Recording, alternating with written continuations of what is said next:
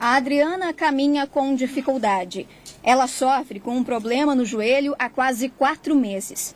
Quando sofreu um acidente doméstico, não imaginou que estaria até agora sentindo fortes dores. Eu estou sem trabalhar, eu estou vivendo de doações dos outros, entendeu? Às vezes não tenho nem o que comer com meu filho, não tenho vergonha de falar isso para ninguém. Porque todo mundo sabe que eu sempre fui, fui, trabalhadora, eu sempre trabalhei, eu sempre corri, eu sempre fiz um monte de coisas. Hoje, eu estou aqui, ó, Vai fazer quatro meses. Mesmo recebendo atendimento médico pelo SUS, o problema não foi resolvido, já que ela não teve, até hoje, um diagnóstico confirmado. Eu achei que tinha quebrado a minha perna. Eu jamais imaginaria que eu ficaria todo este tempo com a perna assim, correndo de uh, uh, Cristo Redentor, uh, pronto-socorro, posto da Cruzeiro, posto de saúde, entendeu? Para te conseguir uma, uma ficha no posto de saúde, você tem que ir às 5 da manhã. Eu não tenho condições de ficar três horas de pé.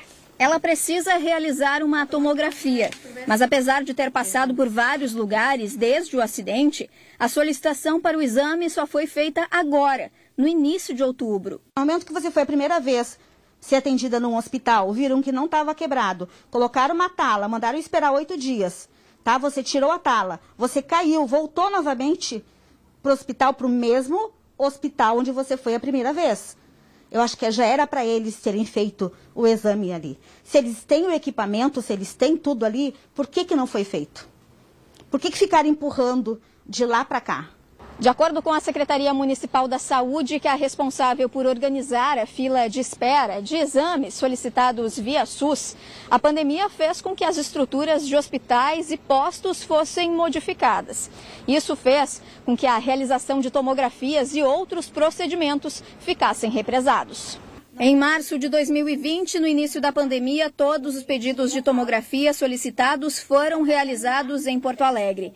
Já em julho deste ano, 1.142 pessoas aguardavam o exame, mas apenas 544 tomografias foram feitas.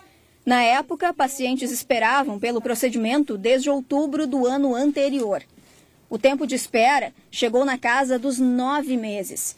E a situação segue parecida muito por conta da burocracia. Daqui a 30 dias iria me chamar, sendo que a médica falou que tinha mais de 400 pessoas na, na, na minha frente. Aí eu já não sei.